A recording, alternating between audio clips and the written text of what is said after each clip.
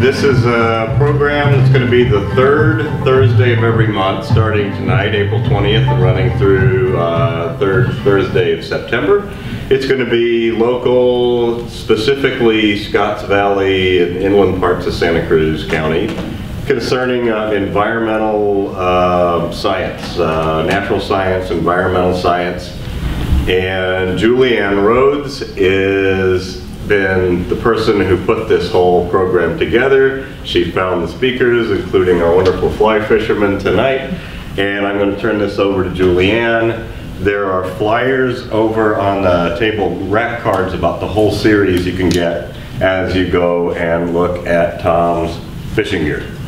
And now Julianne. Thank you very much. I, um, I'm actually going to turn it over to Joe, who uh, knows Tom better than me, so she's going to do the honors and. And Julianne's got a bit of a cold. Yeah, it'll be better that way. Um, so I am so excited that Tom is here. When he heard that we were helping the city of Scotts Valley with their Clean Creeks campaign, um, he got really into it and right away he said he wanted to help out. He said, I don't know how, but just keep me in mind. And then lo and behold, um, Julianne started organizing the speaker series with the libraries.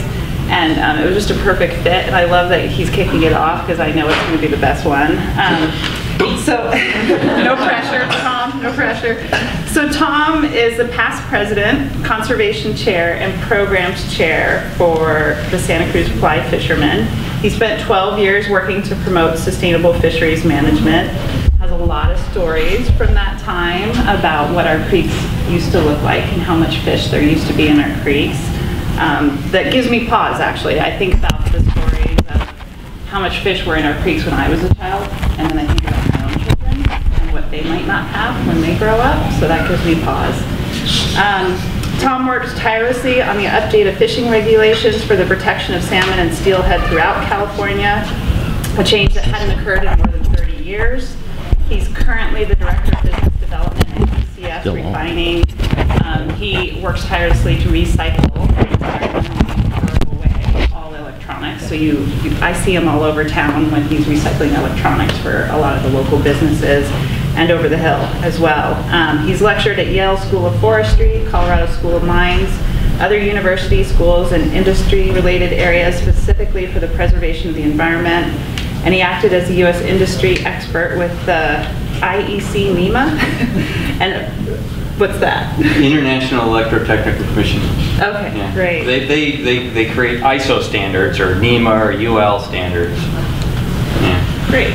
Okay. I And he, just, just told him to say that word, don't say that word. No, don't- no, that no, doesn't- no, no, yeah. Um, and he's also been written for periodicals on conservation and fly fishing, and so we're lucky to have him here today. And you've lived in Boulder Creek now for how long? Ben Lomond, Ben 20 Lomond. years 20, now, yeah, Okay, yeah. all right, 34 years here, great. yeah. Well, welcome. 1982, thank you. We're excited Thank to you. hear your Yeah, my first foray into Santa Cruz was in 1982, right when the storms hit in October. Well, Joe, I usually am staring at Joe because she's riding a mountain bike in front of me with her daughter who's lightning fast, and she was like 12 back then. Um, I knew that, yeah, so she already told the story. But thank you so much for coming and being here. I see some of my old friends and brother. Um, really glad to be here. I'm really glad to be doing this again because I have not done this in a long time. When Joe mentioned about what I did for the Fly Fishing Club or what I did in Santa Cruz County, I did that all before there was such a thing as the internet or a cell phone.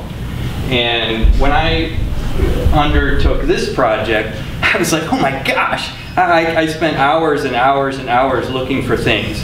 And so uh, it's so great to be able to use the internet and to, to do the research and find some great photographs and the video that we had. I mean, you would never be able to do that before. We were writing letters and sending fax machines. We had this clunky email system and we would go to the Fishery Advisory Committee meetings and we'd jump in a car and drive to Bridgeport or drive down south to go to the Fish and Game Commission meetings. And um, it was tireless work because it was a lot of hours and a lot of sending stuff everywhere. So this is electronic industry, I guess, is kind of nice because we get to do this now. But I know most of you didn't bring your sleeping bags. So we have a lot of ground to cover, and I'm going to try and cover that ground quickly, and we'll come back to things.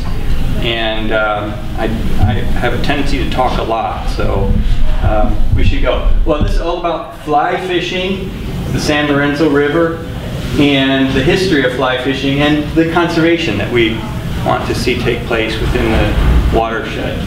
Uh, it's 29.3 miles long. By the way, I did a lot of research. I collected a lot of numbers.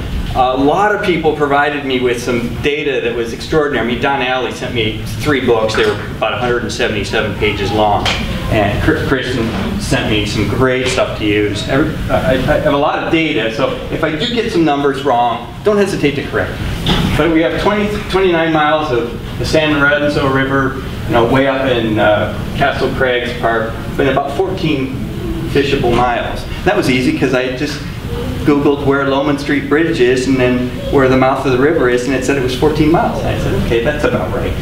Um, but uh, this is what the river looks like uh, certain times of the year. This was uh, our winter in that this was the major flood event day. I went down to the mouth of the river. That's the mouth of the river crashing into the ocean. And then the same picture, just a little to the right. And the reason I have that red circle there is because there's two sea lions sitting there.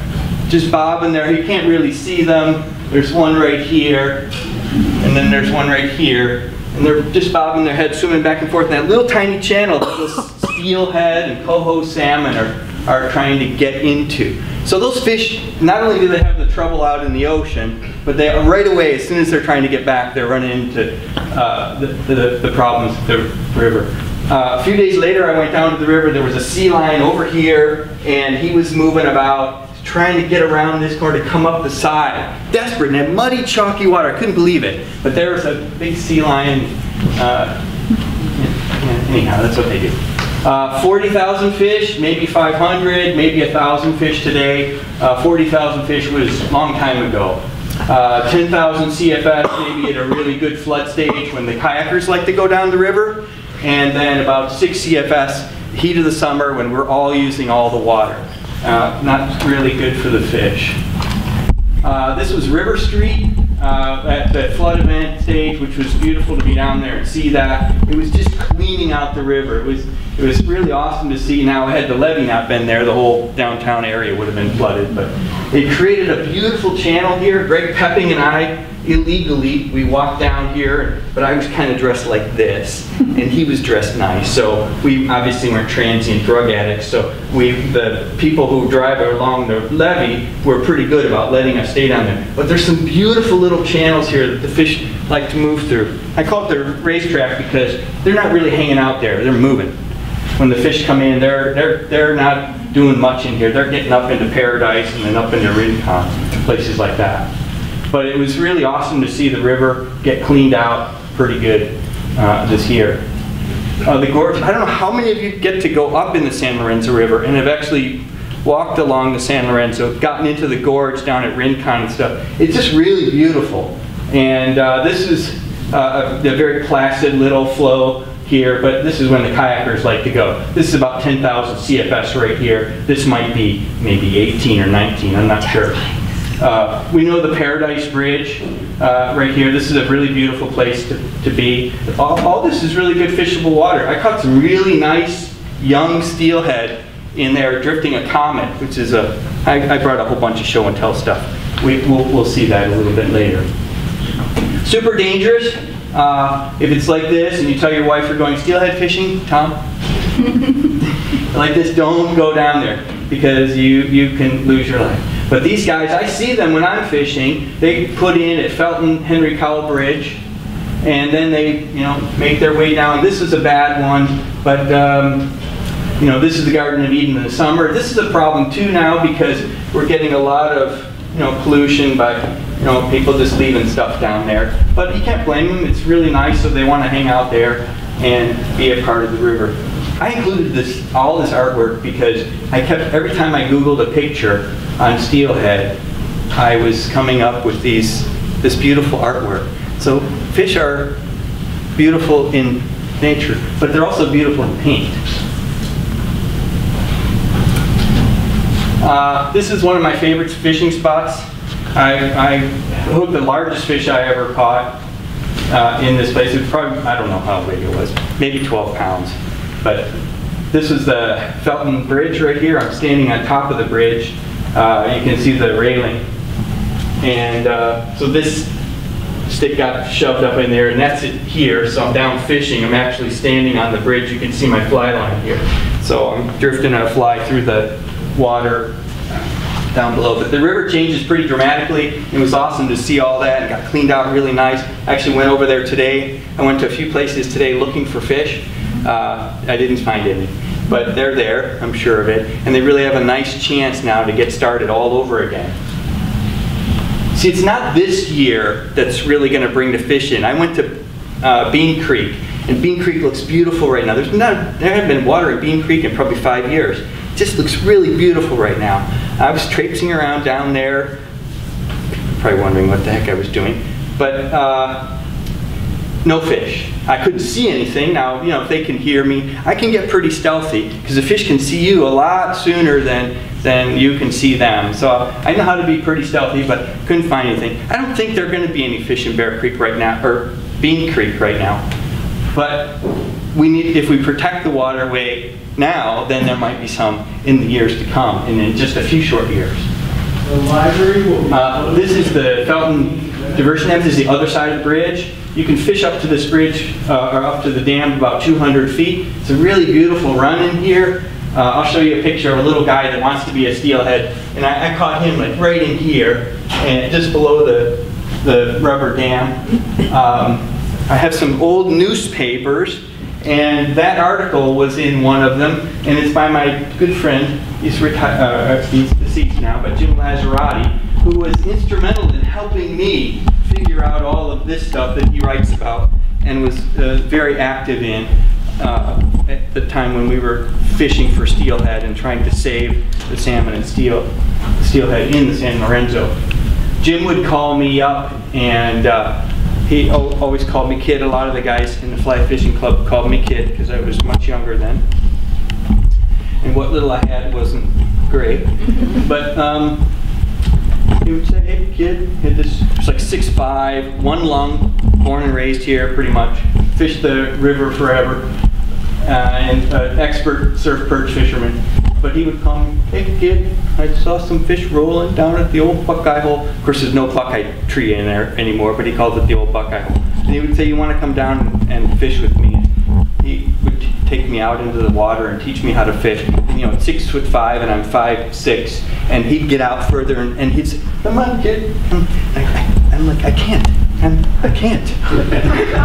I mean, I'm gonna go. I'm gonna be wet. You know. So uh, he, he was a great guy. But this is the Felton Diversion Dam. It's a very beautiful stretch of water. There's a nice hole right here. Larry Montanez and this other guy Callie always fish right in here. There's always fish sitting right underneath here because there's a nice big ledge they can hang out in.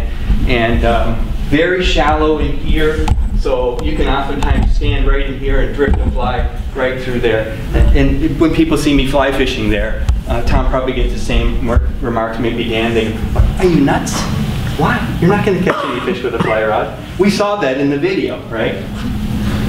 This is the Lomond Street Bridge. I'd actually never been there. So I went there. And because I know that you can fish up to this bridge, and, but you can't fish beyond it. And then right on the other side of it is this old dam structure. Uh, Kristen has some great photos of it in her presentation. But uh, right, right on the other side of this. So you can't fish above the dam. So that's the 14 mile mark. That area is really yucky. You don't want to fish that. But this is nice. You know, in a, in a really nice flow region. Remember, we are here to talk about fishing and fly fishing for steelhead, so I'll do that a lot. Oh, so these are our prizes. Uh, coho salmon, some people call them silvers or silver salmon or silver. And basically you're looking for a, a fish that is going to have a little bit of black in their mouth. The Chinook, their mouth is like all black. But easy to tell if you're a fisherman um, the difference between coho and uh, steelhead, but maybe not so much if you're not a fisherman. At some point or another, this color changes gradually as they come out of the salt water. When they're in the salt water, it's very, very chrome. They're very, very bright fish. Sometimes they have like what they call sea lice on their tail. And so people go, oh, this is a beautiful fish because he's fresh out of the ocean. You know, like, wow, this is like he just got in here yesterday. And then when they get color like this, they're on their way out, usually spawn. Uh, male, big kite type jaws, the, the females much less so. Um, this is a, a I don't think it's great, but I use this photo because the coho will oftentimes have a little bit of speckle on their back as they start to change, especially the females. So their back would be more green than, um, and then here's, here's some better pictures. You know, these are nice. Um, I, I, I had a trip of a lifetime in Alaska in 2009, and I was catching coho all morning. We literally went in the, in the water at 7 in the morning, and they said, you need to fish right now. Because if you don't fish right now, there aren't going to be any fish in the river and pretty soon. And I said, what do you mean pretty soon? They go, yeah, like 1 o'clock, there's no more fishing. And so I was catching fish and I was letting them all go. I was using my fly rod. It was the most fun I'd ever had. And then the guys were giving me a hard time. Hoagie, we have a three fish limit. You need three fish. So I had I kept this one. He was a male, so I, I kept him. Uh, and uh, that was the only picture that I had with him. But that's uh, pretty typical coho. Nice big fish in Alaska and some of the upper street upper stretches. These guys were about eight pounds. Sometimes we caught some that were a little bit bigger. There are lots of other things in the San Lorenzo River.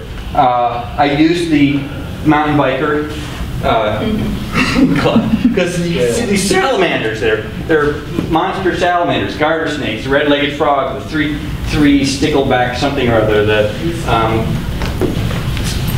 Three spine. the three spine, thank you, the sculpin, the, that's a goby, that's the, uh, yeah, western ponter, and the lamprey. I, I've never seen any. The sucker, I thought, it, uh, I thought it was a, a steelhead when I was at the Felton Bridge. I was all excited because I saw fish like that guy did in the video, and then I realized, nah, it was it was too too lackadaisical. It wasn't really scared. It was kind of swimming. I, I knew it was a, a sucker, which is fine because they're in the river for all the right reasons.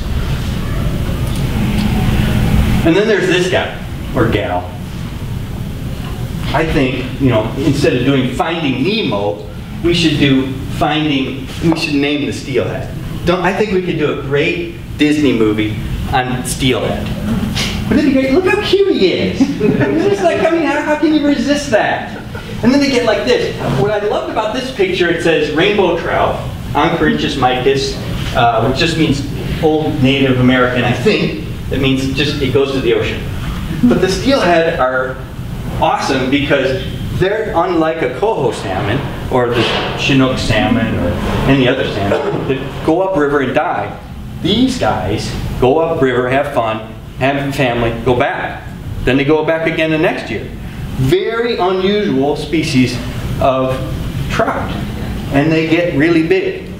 So um, what I liked about it is it says the Great Lakes. I grew up in Ohio in the Cleveland area. And on the Chagrin River, every year my friend, every, my best friend Michael Dillman and I, my dad would take us down to the river and we would fish for steelhead. But we were snagging for them. We would literally take a big treble hook and wrap it with lead and just chuck it and then rip it through the water and try and hit one. Because there were so many fish in the river.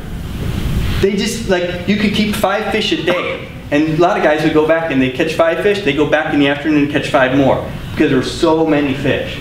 So I, I just thought it was funny that they had the Great Lakes. And if you think about the ice age and melting and how everything, it, it makes sense.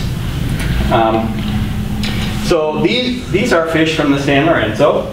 Uh, Ernie Kinsley used to be Ernie's Casting Pond. Uh, love the guy. I mean, I, we used to hang out at his shop regularly. This actually might be, I haven't had a chance to ask him, but it could, it could possibly be Soquel Creek, because that was Ernie's favorite place to fish. Uh, Mike Baxter, he's part of the Monterey Bay Salmon Trout Project, but some, it said it was his son, but I don't think that's his son. Uh, that's a beautiful fish down in the gorge, or Paradise Park area. Barry Burke, uh, a, a great advocate for salmon and fisheries, and uh, he's got more than one or two of those pictures uh, like that. And this is just a young fish that really would be going out, but see how pretty and bright and silvery and this is my, I want to be a steelhead someday, but look at that fly. That fly's like this big. It's over there somewhere. And that guy hit that fly, come flying out of the water right at the Felton Bridge here. You can see the Felton Bridge up in the corner, so the dam is behind me. And uh, he just nailed that thing. Now the beauty of that fly being so big and having to use a barbless lure, I just took the hook and I turned it upside down and he fell off and went right back in the water. I never even touched him, which is the right thing to do and we, we should all do more of that. We really take care of the fish. I'll show some video clips if we can get them to work this right.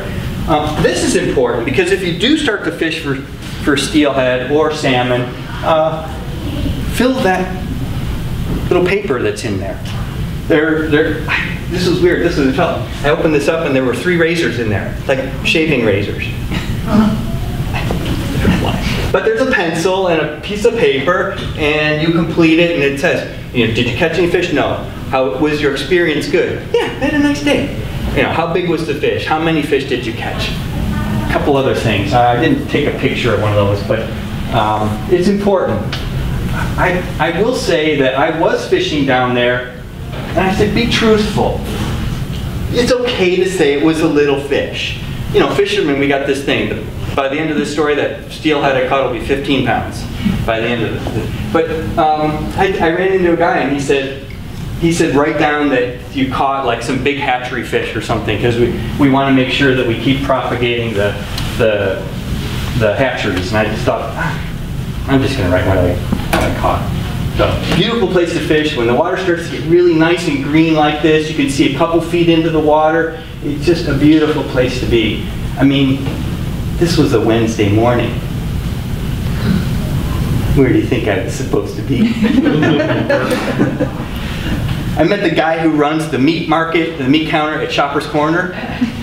His name's Tony. He's a great guy. I mean, you meet people. They become family on the river. It's really a fun thing to do. And um, I said, I gotta go. He goes, you can't go. He goes, I go, no, I gotta go to work. He goes, no, you can't go. You can't go to work. I mean, really, you're gonna go to work? And I said, no, I'm not gonna go to work now. Thank you very much. That's all I needed. Everybody's happy. Everybody. I mean, you catch a fish like that, even the little guy. I was very happy. I worked all morning to catch that little guy. Um, and also, I did this because there are lots of people who have dogs that like to fish. And um, no, I mean, you know, you bundle up, you bring your girlfriend, your wife. I mean, when I met Mona, all my friends were jealous because they said, "You have a, your wife likes to fish. That's awesome."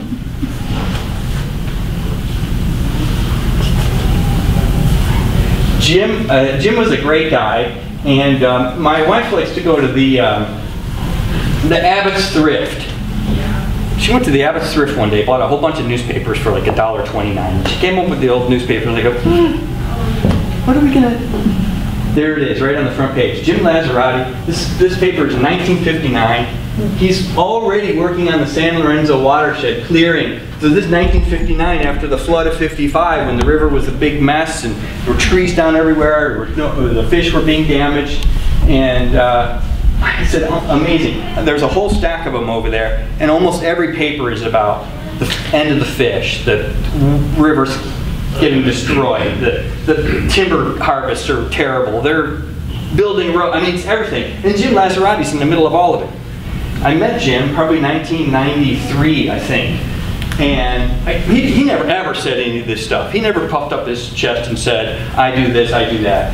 He was just a humble, quiet guy who loved to fish. And he would write and he would go to the meetings and he would stand up at 6'5 and he had, he had a presence that you just could not ignore him. And I had no idea, even after he died, I had no idea that he had, had done all this work. Um, yeah, so I, I, I've been trying to find old photos of all of San Lorenzo fly fishermen who fly fished the San Lorenzo River. And this is the only one I could get from Tim Loomis, who was also a past president, with a big chromer that uh, that Jim caught. caught. And, and look, he said, "Hmm, okay. You know, he's probably caught a million of those fish in his lifetime in Santa Cruz. But he was always aware. There were a whole, bunch of guys that were always aware of what was going on in the river. These are more of the articles. Clearing on Zayante Creek, 1959, death for the fish next. I mean, there's a whole pile of them over there if you want to. Um, I think I'm going to skip this video clip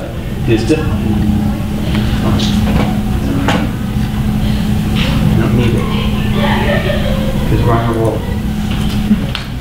Uh, Jim Dick Wayner was another guy. I met him when I first got started. I was totally a young kid, ignorant. I was 30. and uh, I said, "Well, we're gonna change things, doggone it. We're gonna, you know, we're gonna." And he was like, "Easy, kid," you know. Um, Manny Gutierrez, I love the guy. He always, to this day, I, I try to fish with a big Waller Waker or a steelhead beat because he says, you gotta get one on top. You gotta get one on top someday. And so I do that because I loved that guy. Rick Von Carnac, some of his flies are there. He was killed in a boating accident, rode away, flipped him and, and John Fong over in the, out in the bay. Both died, drowned. Uh, Bob Simon, met Bob Simon as I was like running. I was, I was booking it down Rincon. I mean, it's early. I'm getting down there. I'm, I'm catching a half dozen fish a day. And um, I, I went flying by him, and he goes, "Where are you going? What's your hurry? Where are you going?" You know. And I, I said, uh, "I got to get down to the river. The fish." Goes, "They're not going anywhere. They might not even be there." And he was so good. And he, and he said, "You know, I, I, I do that. I pay people this favor now." He said, "Uh, "You should probably take that net back." to the car. You're not supposed to have a net. I had this little tiny trout net. He said, you're going under catch steelhead, aren't you? It's not going to fit in that net. And if you catch something that's going to fit in that net, you're not going to really want that. You got to take the net back to the car. So I repay that to everybody I see, I see now today on the river, and they have a little net. I go, you know what? You probably yeah, no. And I say the same thing Bob did. It totally makes sense. Ed Marcellak, I think in one of those pictures I have an ad advertisement. I'm pretty sure that's him standing in his pram in the lagoon because he, um, that's how he loved to fish the lagoon in, in his pram. Uh, Dave Allen, who's my neighbor, lives right across the street from me. I live at Love Creek where the where the fish ladder is and the and the the falls. I did see a really nice fish on Love Creek the other day when you came up and you were looking for me. Uh, and Al Smith was another great guy. Um, uh, most all of them are gone. Uh, Ed's still up in Sacramento. Ernie is hunting elk somewhere. Uh, but they all watched the river and they, they had a voice. Jim would be the first guy to go down in the county and say, something's not right. You guys are pulling too much water out of the river because there's not enough water in the river for the fish. He'd be the first guy to get to the county or the city and say something. And they're all fishermen. That's all they did. Oh, yeah. Okay. You have to watch them. Okay, so we're talking about fishing and fly fishing in general. Now, fishing the San Lorenzo, this video clip, it's very bad. I, I, I stress that. Watch what he's doing. He's basically flipping. And that's how you do a lot of the work with a fly rod on the San Lorenzo. Now, he's using what's called a strike indicator. Um, it's a fancy word that fly fishermen use for bobber. And so we, we like to call them strike indicators. And he obviously can see a fish there. And so he's using probably what's an egg pattern. Because usually if you're using a strike indicator, you're using some, something like a little egg pattern. But he, we say fish of a thousand casts. So he probably cast 70 times in here. Now he's not really casting, he's doing this flipping thing. But that's what you do on the San Lorenzo. You're not going out there doing this really nice shadow casting like you see on the river runs through it. maybe in the lagoon. Um, so only a couple minutes and he gets a pretty good grab there. I'm, I'm going to go right through this. Because it's only a couple minutes, but you're bored already. Right? I mean, we're, we're fishing for hours and hours to do this. So I know you're bored already, so I'm going right to the good stuff. So he finally gets down there. Oh, oh I think one more. Like two more casts, yeah, that's what he. And his friend.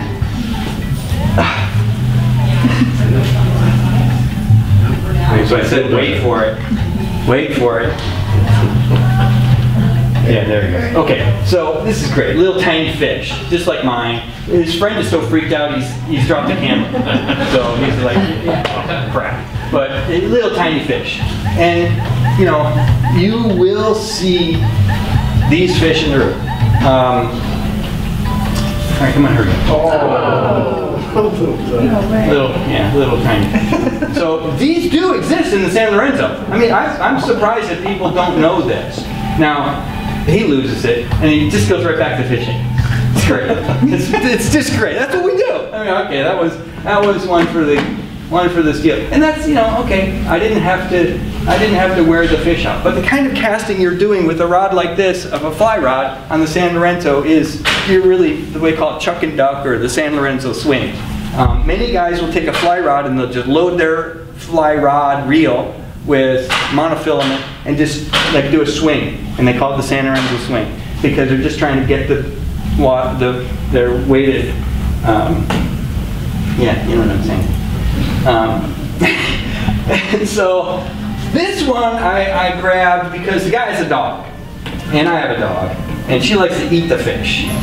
So don't bring your dog because it does make things a little more difficult. Now, he's also doing the same thing. He's got a strike indicator, so I'm guessing he's fishing with an egg pattern. And these are likely up in Oregon. Oh, this is Oregon's Siuslaw River. Um, but what I, if you haven't fished for steelhead before, and you're like, okay, what's the big deal? Why? You know, um, but you want to fish for steelhead, you want to give it a try, you want that bend in your rod, and then okay, you catch a fish. Now what do you do? Well, don't bring the, don't get the fish out of the water. Don't bring your dog, and don't get the fish out of the water. I mean, just reach down, grab his tail. Yeah, he's tired. She's tired. She's still got a lot of work to do, spawning yet, and then she's got to go back to the ocean, deal with a bunch of dams and wood and sea lions, but he's just hanging on, unbuttoning the fish, trying not to tight, touch it. And then what did what did the, um, Dean call the little picture thing when you do the picture? It's like the it's like the self-aggrandizing three second. You pull the fish out, take the picture, put the fish back in the water. Don't don't grab the fish and then you know try and take a picture with the fish. So he does pretty good, and that's really why I wanted to use this video to demonstrate, you know, taking good care of the fish. You know, I don't even know why we do this, but it's for the same reason why people like to knit and, and things like that. Ah, ah.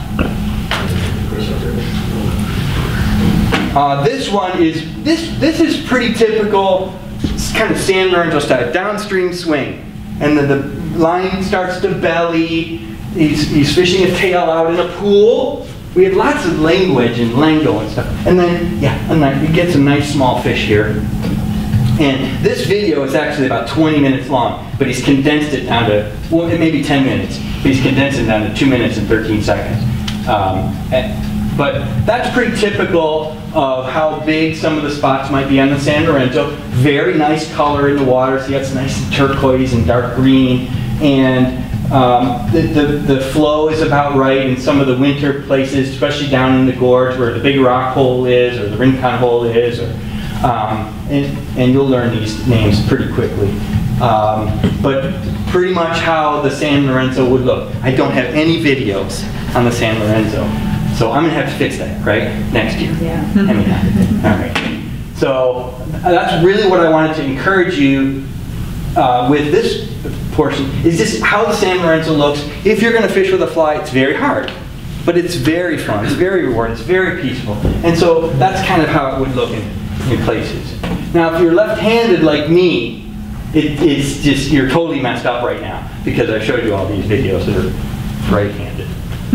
um, no levy. No levy. Uh, this is what it was like. This could be Ed Marcelac down here. We, we don't know. But this, is still there. Uh, it's, all, it's overgrown a lot, and Branciforte Creek comes by. But the big guys would be on this side. It'd all be down here, all the big guys, and the fly fishermen on the other side. And then, of course, all the guys in the prams in the middle. This picture was 1941, I think, so before the 55 flood, which pretty much ruined everything.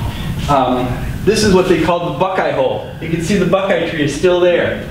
Uh, it's not there anymore. This is where Jim Lazarati took me fishing, and I, like I said, I went out here, and he's like, "Come on, kid." I was just like, "I can't, Jim."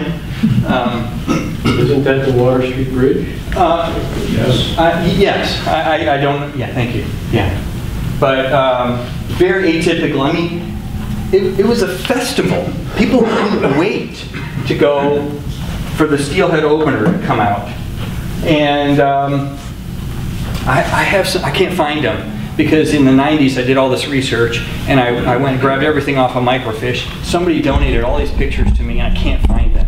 We moved, rebuilt the house, I had kids, they're now 18 and 20 years old, and uh, I, I'm heartbroken because I can't find them. They're probably in an attic somewhere.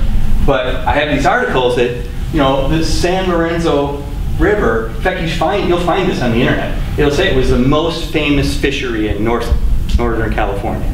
Most famous. What? San Lorenzo? Seriously? 300 bucks a day per person to the economy. Because guys love to spend money on fishing gear, they take your wife to the hotel, you're having dinner at night, 300 bucks a day. This was like in the 70s. That's a lot of money. But you know, most fishermen, well, you have a lot of money for fishing. Uh, yeah, the most famous. Yeah, it was, it was beautiful. I have the article that was written in I, uh, Sunset Magazine or something like that. I just can't find it. I really wanted that article. This is great. This is on the other side. There's no levee, but there's this little wall here. And these kids are fishing. It's obviously in the summertime. Jim Lazarati, I think, used to fish Siney Creek, and it was the limit was 25 fish a day in the summer. Trout. He would go down there for breakfast in the morning, catch fish, could bring home, make them for breakfast in Zion. I don't even. I, yeah. It's pretty sad. See, I think this is Ed Marcellak. Oh, or one of these two. You know, Ed. He had that. He had that like permanent fishing thing. I went to the Santa Cruz Public Library and I, I said I'd like some old articles, and this guy took me over to the microfiche machine. And I sat there at the microfiche, spinning microfiche for hours. I went all the way back to 1908.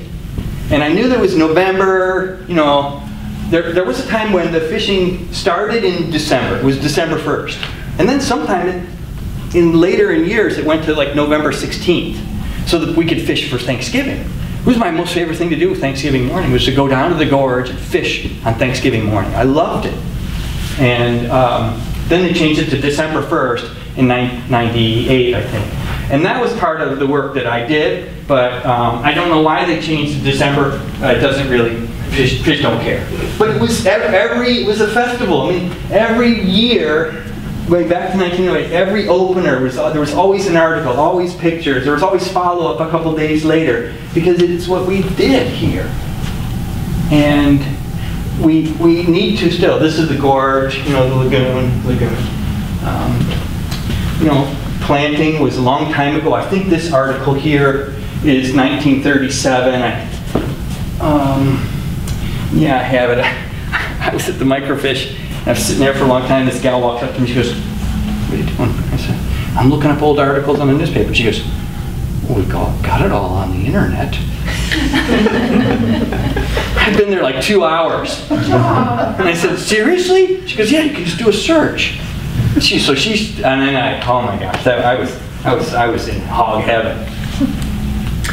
Uh, tackle, uh, if you fish winter steelhead and it's rainy, you're up in Washington and you're in Oregon and it's just raining every day, you spend a lot of time tying flies. And it's a fun thing to do. Mona knows this. I sit in the house at, late at night, maybe have a beer or two, and uh, I, I like to make flies. And uh, and the steelhead, if you remember, and salmon, they're not in here to have breakfast, lunch, and dinner. They're like when I was preparing for this thing, I didn't sleep. I, I couldn't sleep. I couldn't eat. All I was thinking about was spawning. And, and so that's all the thing. No, I was thinking about doing this presentation. But, but um, seriously, that, that's what they're. So you're kind of pissing them off, is what you're doing. You're putting this thing in front of them. Now, if you, you swing a salmon egg or a, like an egg sucking leech, uh, they're gonna probably think it's a salmon egg, so go, oh, it's a little snack, give me some protein to get up the river. But, um, you know, you can just never have too much tackle. Uh, one of my friends in Wyoming, uh, she said to me one day, she said, uh, oh, I know about those California steelhead. I heard that California steelhead like Cheetos. and I, I, serious, I love this woman, and uh, she, so I said, okay. So I, I created this pattern. I made it myself, and I call it the Matuka Cheetos. now, Matuka is a style of fly when you tie the wing on the top, or and in this case, it's a piece of rabbit strip, and then um, got big barbell eyes because we want this to go down fast. I got some Flashabou here, and then this is all what they call saddle hackle from a hen.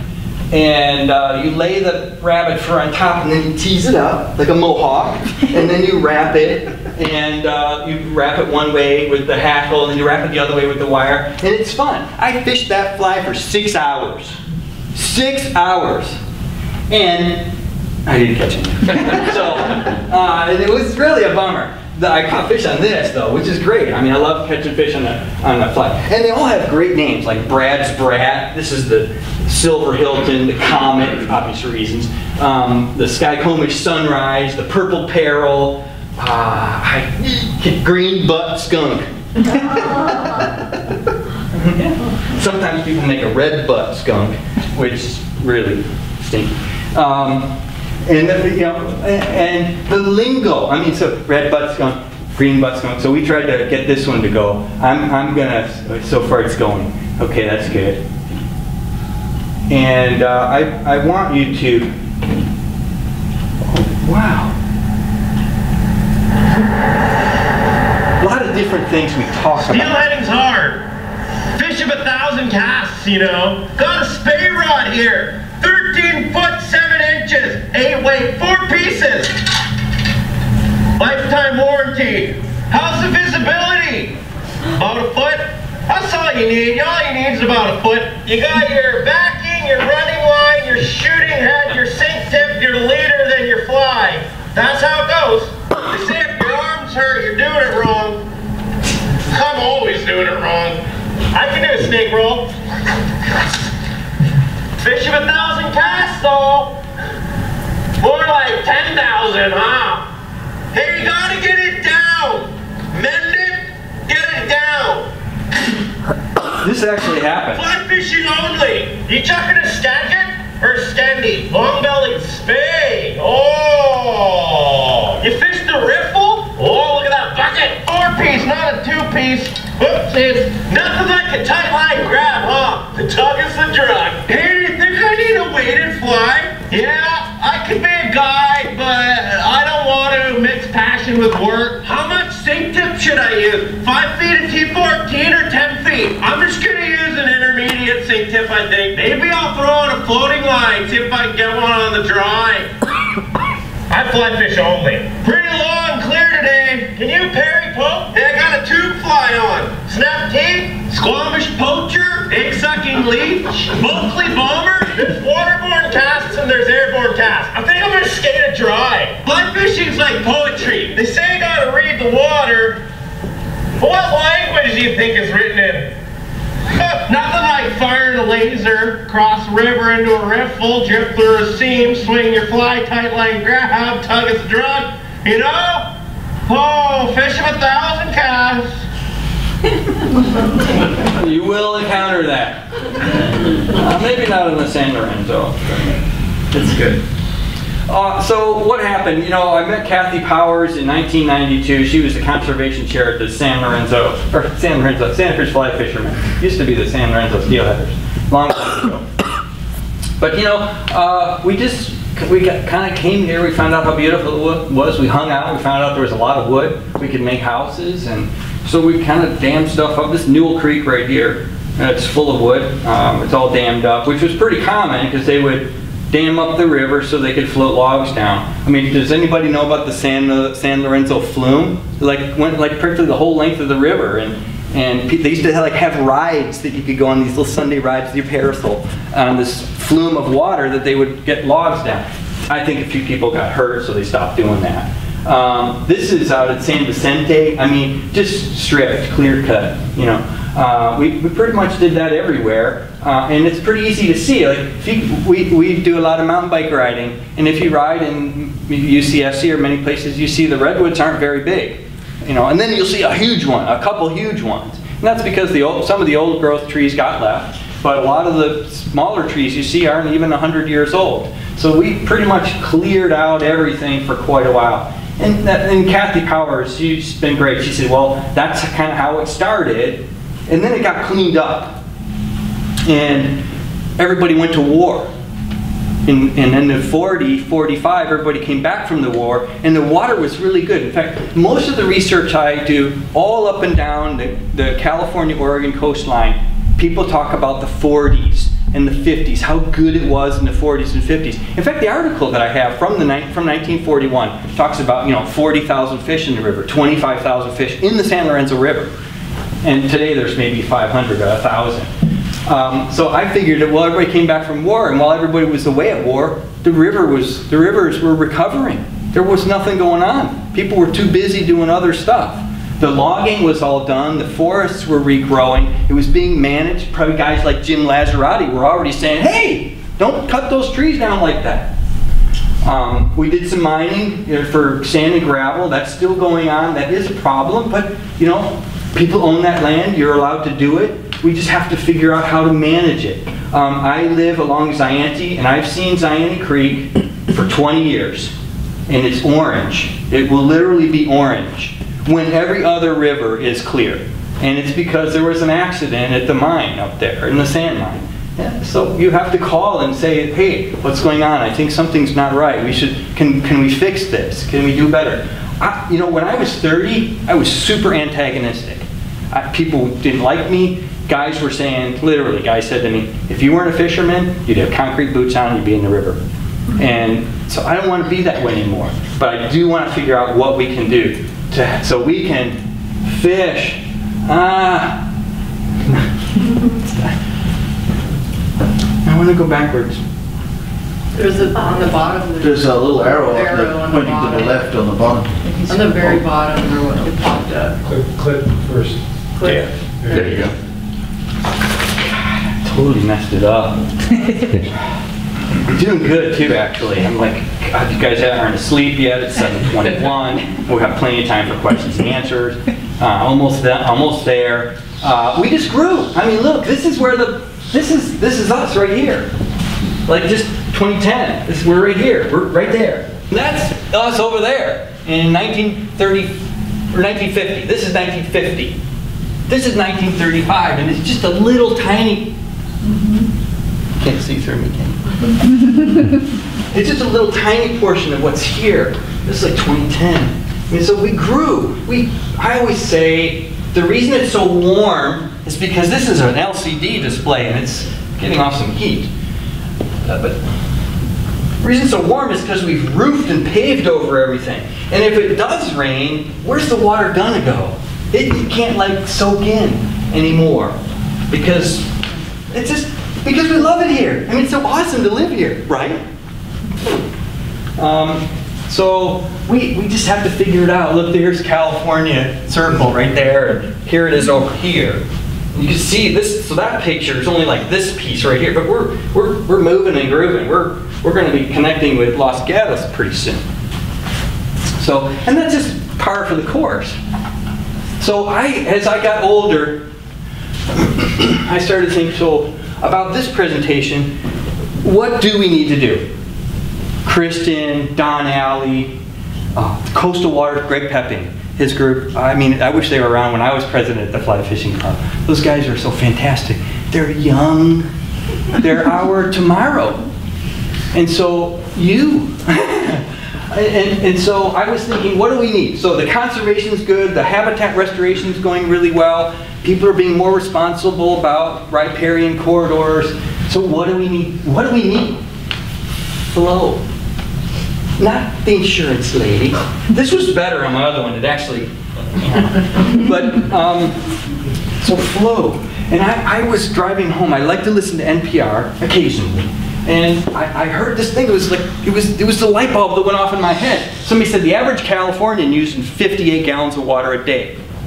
So each one of us uses 58 gallons of water a day. If you took three 55 gallon drums and you dumped them on the ground all at once, that's six cubic feet per second. That's what the fish get to live in in the summer. So I, I heard this 58 gallons. I was like, ah, okay, I got the number now. I know what to do. So I took what's in Loch Lomond and I just said, what if Loch Lomond was just a glass of water? Now I know that Loch Lomond didn't exist around here, but all the water was still there. It was flowing in abundance everywhere in all our creeks and rivers. And in 1850, there were only 643 people here. In 1961, Salz Tannery started, or 1861. I, half the people probably worked at Salz. Yeah. Um, if you were to look at Loch Lomond, or the, that capacity of water, 2.8 billion gallons of water that was in Loch Lomond, if it's 100% full, that water would have lasted 207 years. In 1920, look, it, it's, it's still five years. But look at today. It's 127 days. That's how much water, like if you just took Loch Lomond and you emptied it, we all use the water. 127 days. So that's why there's this monster uh, issue about water. And if we want steelhead and salmon, maybe even some Chinook if they can get back someday. I didn't even talk about Chinook. We want the lamprey and the goby and the turtles, and we want all that to survive. They need water. They need cubic feet per second. And to grow and thrive. Thrive, not just survive. The best period of growth seems to be April through June. Makes sense, mayflies are hatching, the caddis are hatching, all the bugs are hatching in the river. It's got that nice winter flow that's calming down, everything's coming alive. So the best period for growth of the fish is April through June. Well, we know the most critical period for survival, I mean not even thriving, just to survive, is July through September. And that's because we have the most use of water. So we just need to figure this out. I mean, there's the diversion dam at Felton, that's not going to go away. And at Tait Street, that's not going to go away. Water rights, property owners pulling water, pot, grapes. I- If somebody has a vineyard, okay. If, you you're growing pot, you should have brought some. It's 420. uh, but I mean, you know, potentially illegal. I don't want to be, I just want, I know this is the issue. So how do we get fish? Something more along the lines of 20 or 30. Would we be okay? I don't know, for summertime, that's a complex question. Maybe 50, um, but not six or eight. I actually, before I did this, I thought we were more like 25, but then, then Don Alley said, no, it gets really, really low in the summertime. And that's when the water heats up, the fish can't breathe, there's no food. So we just, we all need to be aware of that. You guys can be the next keepers of the stream. You know, in my business, I do electronics recycling, and everybody green, green, green, green. I'm like, shit, I'm wearing green shirt. But I'm like, I'm sick of the green thing. I always say blue is the new green. Because in my business, if the water is dirty and the air is dirty, it doesn't matter. We can't live. So we have to have blue sky and clear blue water. So that's the first thing we got to do. And then we have to just manage the balance. We're not going to stop growing. It's not going to get any better or worse, hopefully. But we can be the caretakers. And the best way to do it is by fly fishing for steelhead and salmon in the San Lorenzo River. Why? Because you're going to buy a license. You're going to be on the water. You're going to talk to people. You're going to care. And you're going to do all the things that we want to do. But, you can't do it here. You have to do it when you're on the river. And then you go, I think I'm going to go, I'm to go check out that Greg Pepping guy because he's pretty cool at Coastal Watershed Council. Because they do these beer things on Thursdays. and then they like restore the river. I'm going to call Joe and Juliana because and you, you get involved, maybe even like me, just as some nutcase who really cares, for some reason or another. I'm like, why? It's, you know, but I do. So um, I was going to show this video at the end, but ever- did everybody see this? Was everybody here in the beginning? No. I just, you know, yeah, that's what I look like. I go down there and people see me fishing. I, I covered up the north face thing. I didn't realize that. I was like, yeah. if it was Patagonia, I probably would have kept it there. but um, I definitely would have kept it there. Uh, but um, you know, I go down there, people go, are you, are you nuts? You're fly fishing? I go, yeah. But when I hooked that fish and there were a bunch of people standing on the, on the Felton Bridge, they were yelling, I bet that's gonna taste good with some lemon and butter later on. And I go, no way. And the fish going back in the water. And they're like, what are you crazy? that on a, and they would say, are you caught that on a fly? And like literally, I got the, got the fish to the beach and the fly fell out of, the, out of its mouth. And I was like, oh my God, that's perfect. I didn't even have to try to take the fly out. And, and so I let the fish go and the people up there were like, are you kidding? Yeah, we're, we're, it's, it's crazy. But it's, it's, and it's hard. And, and yes, it's like a fish of a thousand, ten thousand cast, you know. And uh, so this is a video that I started when when I got here. I'm not going to play the whole thing because it doesn't make sense. But it doesn't make sense. to you. This is some river You can't help but look at a steelhead and we, we wonder where it was in the ocean. We didn't see this when they came in. The great runs of fish that filled all these rivers. That was nature's conveyor belt to bring all the nutrients from the ocean a thousand miles inland, deep in the mountains. Should I let this go? It's 11 minutes. Or when we can do questions and answers afterward. I really like Or going to just beautiful places, go. and having time to hang out with my friends. It's quite good.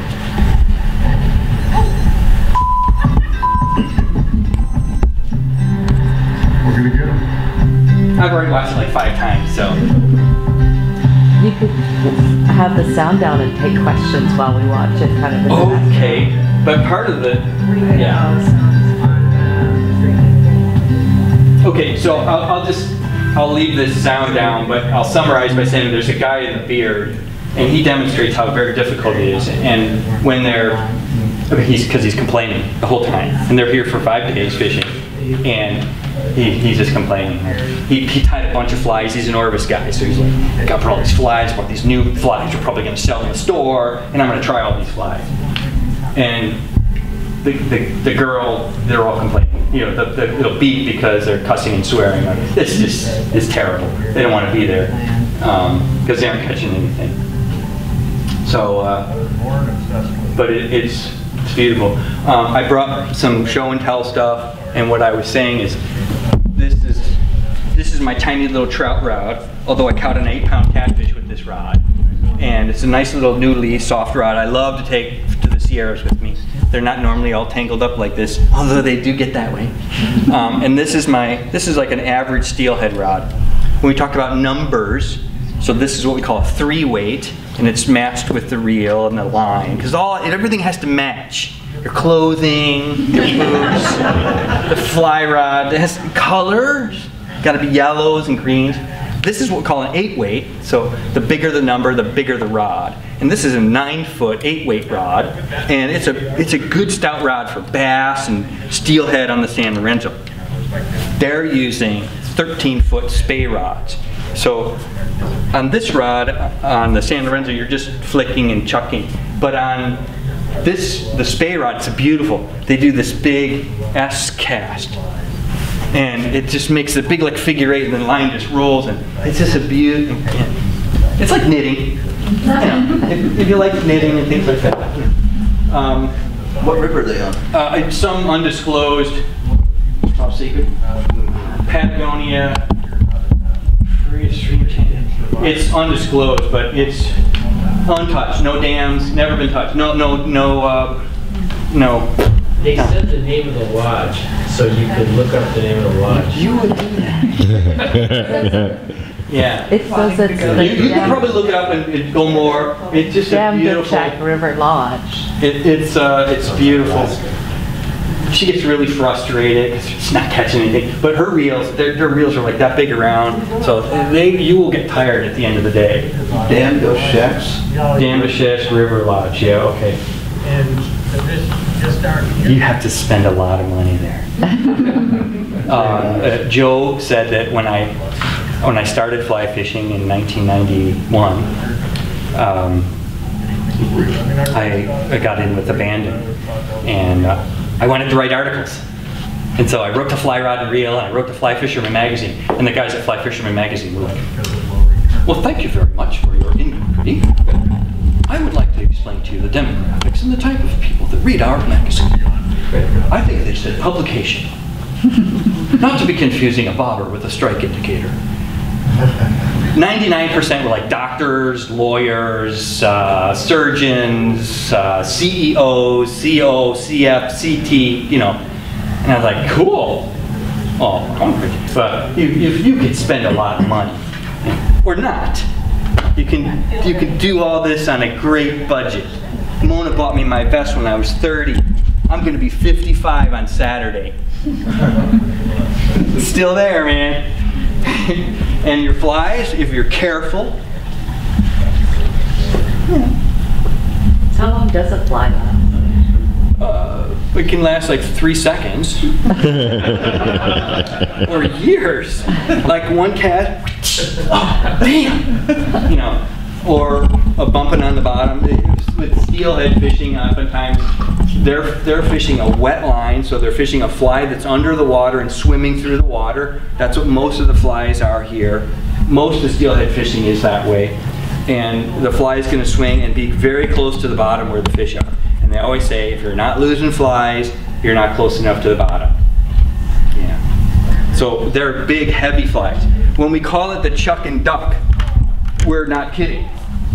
Because well, this is tungsten.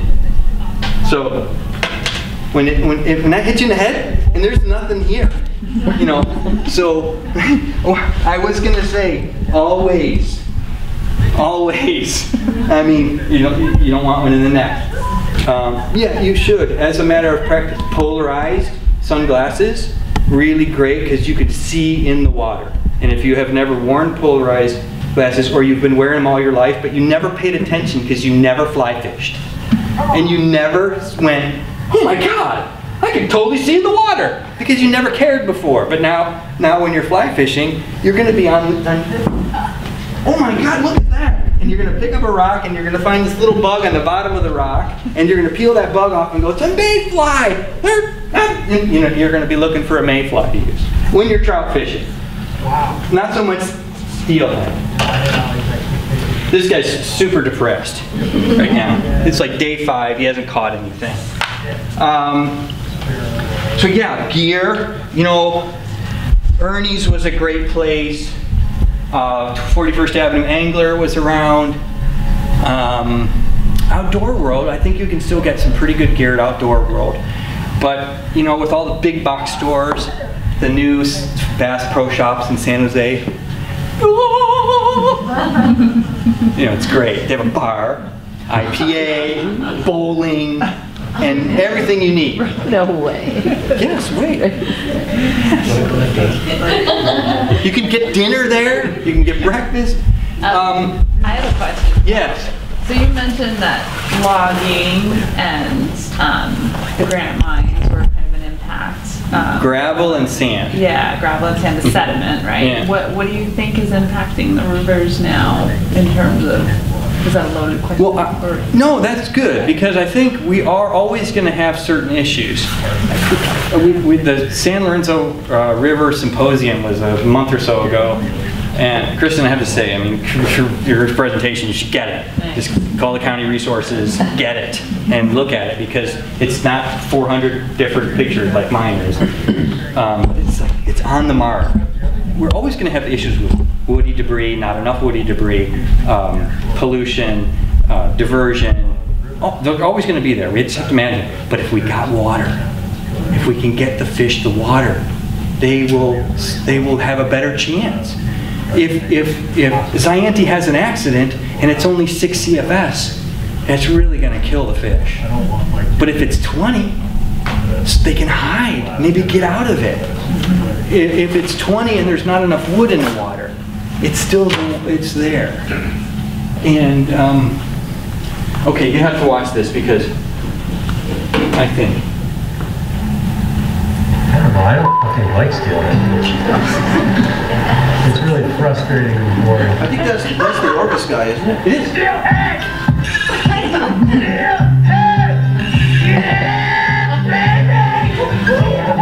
He's like been complaining for five days. Yeah, typical work. feels good, it feels It's solid, like, it's like, and uh, it raises your spirits.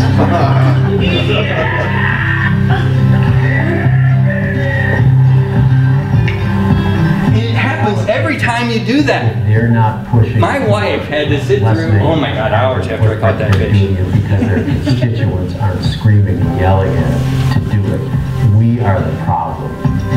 Science on And it- Those are fish waiting to go up Anglers in the have to get river. Clock is ticking on. All that black is, those are fish, It's really thousands and critical for people, Yeah. especially. I've actually seen that in Alaska. Hunters, and we really care about the I natural flew over world, to vote for politicians that are interested in making the kind of change that's required. To me, that was the best part of the whole thing, was him complaining Stand up for steelhead. Tell Congress to act upon it. Sign the petition at coldwaters.org. This is not an advertisement, this is, I just, you know, I I was,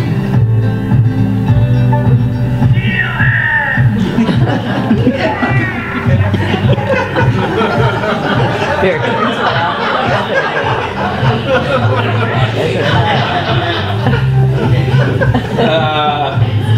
uh, okay, uh, okay, great. So, uh, anyhow, thi- I'm excited because it's my dry run. I, I, I literally didn't sleep and eat. Uh, Joe, I'm so happy. Thank you. I- The library, been it's great. great. It's Kristen for your help. Don, Don is a fantastic guy. He'll break your heart because he's really, really passionate. And everybody else, I mean, the Cruz Fly Fishermen, I would not be here without them. And I'm, I'm just super thrilled about the coastal watershed folks because they're, they're, they're on the mark and, um, like I said, they're all young and that's what we need because, you know, yes. I have two questions. Um, What is that Thursday night and who puts that on again? Is it actually stream restoration that happens here? Oh, oh, well, I would say go to coastalwatershedcouncil.org and just subscribe. If you do Facebook, like their page, and they have very regular things. I said the Thursday night, is Thursday night tap room, and we did it in concert with the Santa Cruz Fly Fishermen. Like I said, I wish we would have done that when I was president. Of course, I'd probably be a drunk by then. That would be bad. Um, uh, But, But yeah. they're the people that are putting hands on the Yes, stream. yes, yeah. Great, great people. Um, My last, second question was, on the picture that you showed, uh, old picture of San Lorenzo um, in the flat area before the um, levee was put in, yes, you had uh, the oceans, down by the oceans. down at the ocean Yeah. mouth, you had fly fishermen on- on one side. Yes. Bait on the other. Yes. People in the prim.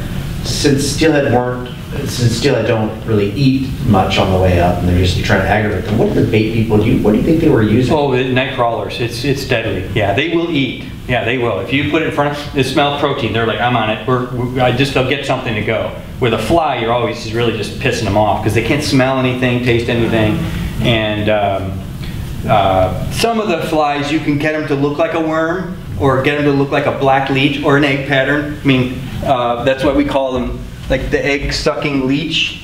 Uh, you know, so you can get some, and then, you know, I have, well, you can see it all right here. You know, this is a chartreuse pattern with a very sharp hook. It's got the, the red or the pink, so it looks like a salmon egg and it's flashy. When it's in the water and it's moving at 100 feet per second, you know, the fish are like, what was that? Okay, and then they're like, oh crap, that wasn't anything I wanted to eat. I always tell people, it's so small. They, people say, it's so small, how does the trout see it? Right? How does the fish see it? But I would say, if I was chucking M&Ms to you, and you were catching M&Ms, and you were really good at catching M&Ms, and I all of a sudden threw a fake one in, you'd know in a heartbeat, and you go, which is exactly what the fish do. They spit it out immediately because they're like, ah, oh, that wasn't real. You know, so you're trying to get them to you're really trying to get them to look hard at that really quick and grab it, and then, yeah, before they go. And pinching barbs is really good because they always come out of you easier, too. Serious. Get them in the neck, your ear, yeah. I had one in my face once. It was actually a daredevil lure with a barb hook. And I was very low priority in the emergency room, so I got to sit there for a long time. With an earring? I was most, I was most worried about how I looked.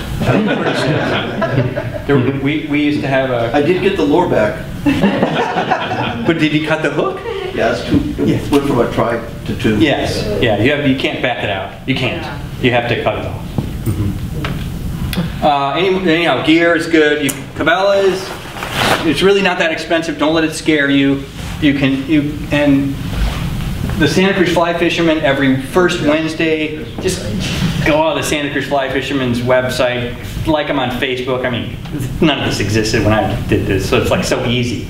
I mean, I, I wasted hours till I was like, I gotta go to sleep, watching YouTube videos, because like, this is awesome. So, um, I will teach you how to cast. There's my name, phone number. I, I will talk to you till you run away. So, Well, thank you so much. Thank you.